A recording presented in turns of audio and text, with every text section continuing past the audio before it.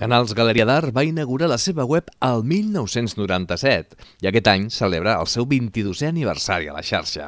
Es tracta d'una galeria d'art pionera en l'ús d'internet, ja que en aquell llunyà desembre del 1997 va inaugurar la seva web per part del conseller de Cultura de la Generalitat d'aquell moment, Joan Maria Pujals.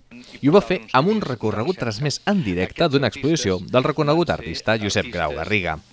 Aquesta galeria sancuatenca va ser una de les primeres en estar en xarxa i en permetre la venda d'obres d'art per internet.